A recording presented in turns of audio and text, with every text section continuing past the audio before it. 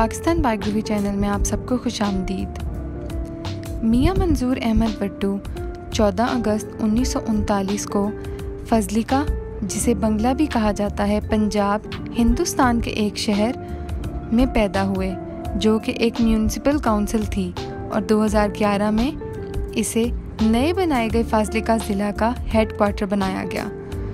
तुर्कमानिस्तान से शुरू होने वाले ट्रांस अफ़गानिस्तान पाइपलाइन मंसूबे का आखिरी स्टेशन फाजलिका में होगा। मियाँ मंजूर अहमद वट्टू ने अपनी इब्तदाई तालीम government Islamia college Civil Lines Lahore से हासिल की। मियाँ मंजूर अहमद वट्टू के तीन बेटे खुरम जहांगीर वट्टू मौज़म जहांजेब वट्टू और जीशान वट्टू हैं और पाँच बेटियाँ रुबीना शाहीन वट्टू जहारा वट्टू आयशा मंजूर वट्टू ताबना वट्टू और आमना वट्टू कसूरी हैं। मियाँ मंजूर वट्टू पहली बार 1985 में पंजाब की सूबाई असम्बली के स्पीकर मुंतखब हुए, जो आबादी के लिहाज से पाकिस्तान का सबसे बड़ा सूबा है, और इसी अहदे के लिए वो तीन मरतबा मुंतखब हुए। उन्होंने उन्नीस सौ तिरानवे में पाकिस्तान मुस्लिम लीग जे के टिकट पर पंजाब के वज़ीर अला का अहदा हासिल किया। वफाकी और सूबाई हुकूमत के दरमियान रस्सा खुशी के बाद वट्टू को दो मरतबा ये अहदा छोड़ना पड़ा। अपनी मुद्दत मुलाजमत के दरमियान सिर्फ़ 16 नवंबर उन्नीस सौ छियानवे को मुस्तकिल तौर पर दफ्तर छोड़ना था। वट्टू ने उन्नीस में पाकिस्तान मुस्लिम लीग जिन्ना की बुनियाद रखी। जब वो अपनी सबका जमात इस वक्त की पीएमएल से अलग हो गए। लेकिन पार्टी पीएमएल जिन्ना कौमी सियासत में नुमाया असर रसूख रखने में नाकाम रही। मई 2008 में वट्टू ने अपने साथियों के साथ पाकिस्तान मुस्लिम लीग कायद अज़म छोड़कर पाकिस्तान पीपल्स पार्टी में शमूलियत इख्तियार की। पंजाब के 2013 के इंतबात में मुकम्मल नाकामी का मुशाहिदा करने के लिए, जहाँ क्रिकेटर से सियासतदान बने इमरान खान की मरकज़ी बाएँ बाजू की जमात पीटीआई ने पाकिस्तान मुस्लिम लीग नवाज़ को चैलेंज किया था और इन्होंने इसकी पैरवी की थी।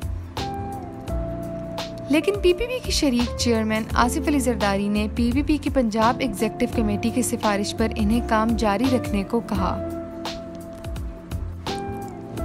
मियाँ मंजूर अहमद भट्टू पहली बार उन्नीस सौ तिरासी में ज़िया दौर के गैर जमाती इंतबात के दौरान चेयरमैन ज़िला कौंसिल उकाड़ा मुंतखब हुए।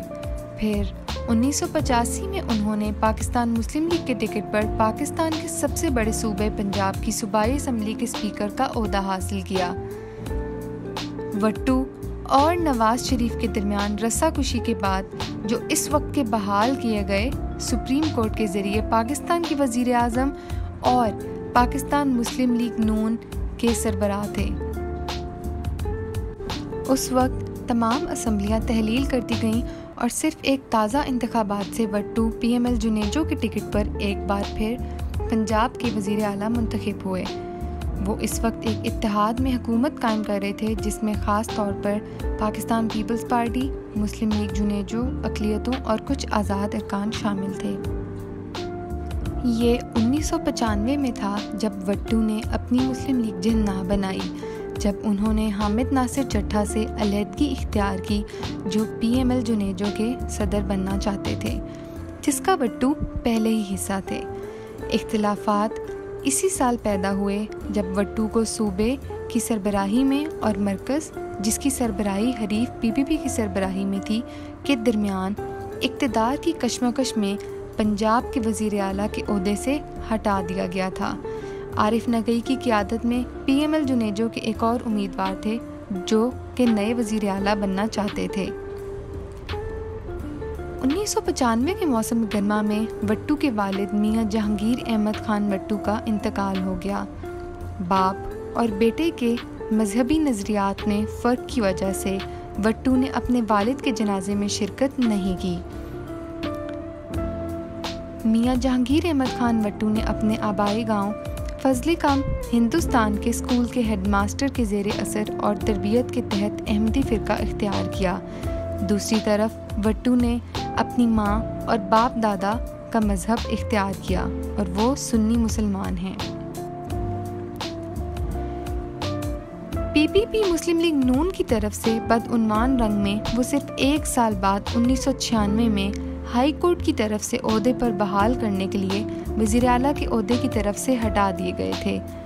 बट्टू के खिलाफ बदउनवानी के इल्ज़ाम और अदालती कार्रवाई शुरू की गई और इस वक्त के वज़ीर अजम नवाज़ शरीफ मुस्लिम लीग नून के रहनुमा मियाँ मंजूर वट्टू को एहतसाब अदालत ने 10 साल से जायद कैद की सज़ा सुनाई और 10 मिलियन रुपए जुर्माने की सज़ा भी सुनाई। मियाँ मंजूर वट्टू की बेटी रुबीना शाहीन वट्टू ने मुस्लिम लीग काफ के लिए पाकिस्तान की कौमी असम्बली के रुकन के तौर पर खिदमात अंजाम दी।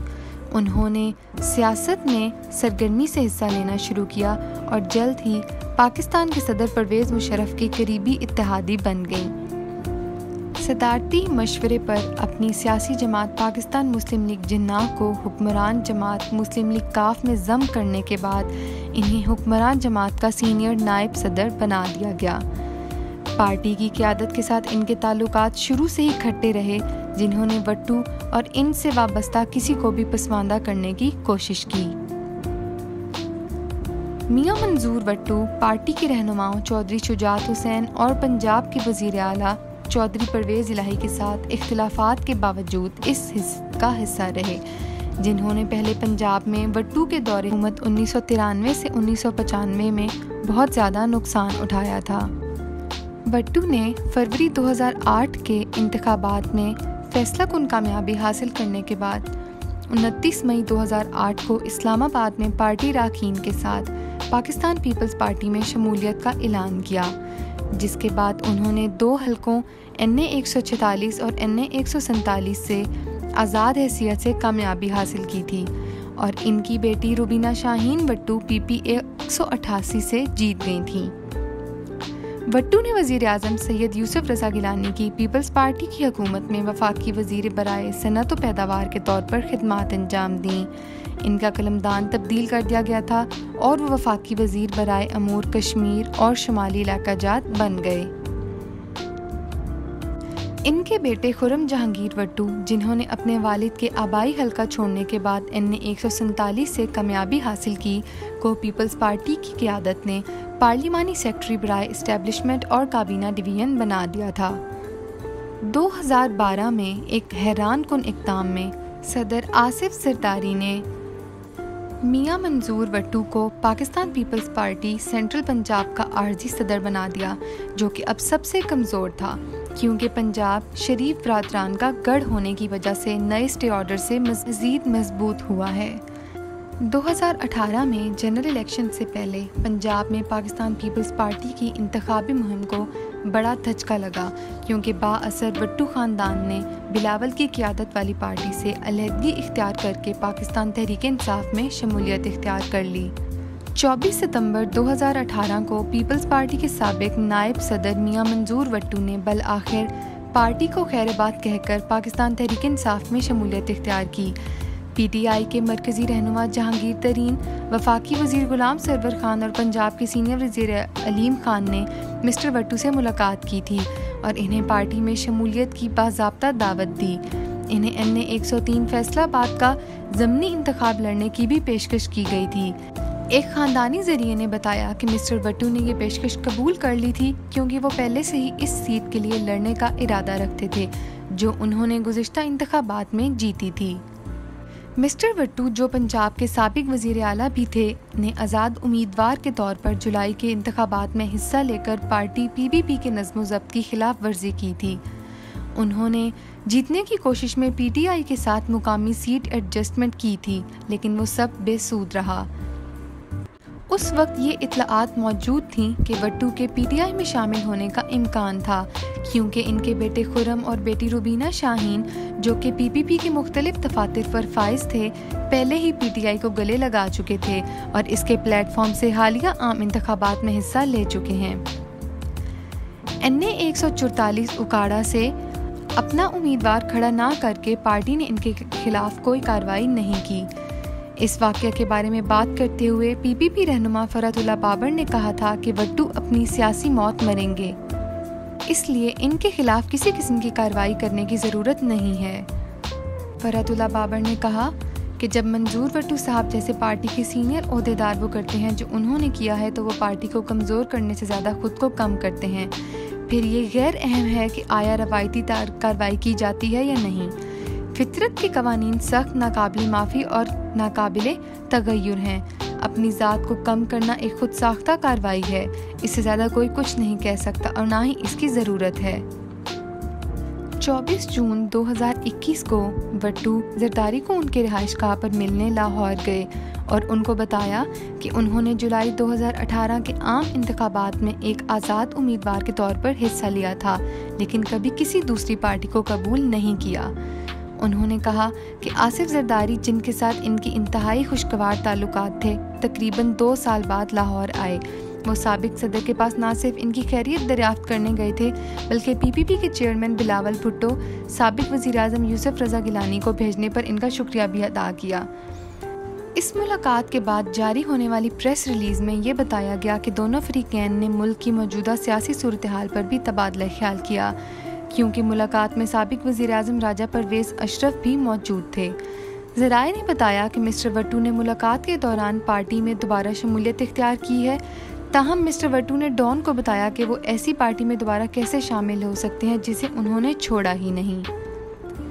मियाँ मंजूर वट्टू को तकरीबन हर सेटअप में अहम अहदों पर अपनी जगह बनाने के फ़न के माहिर होने की वजह से जाना जाता है। और पंजाब में पीपीपी की कमान में इनकी तरक्की पार्टी के सूबाई कैडर में से बहुत से लोगों को चौंका देने वाली थी। और इसी के साथ हमारी इस वीडियो का अख्ताम होता है। उम्मीद है आपको हमारी तमाम वीडियोस की तरह ये वीडियो भी बहुत पसंद आएगी। अपना फीडबैक हमें कमेंट्स के ज़रिए ज़रूर बताइए और साथ ही हमारे चैनल को भी सब्सक्राइब कर दीजिए। शुक्रिया।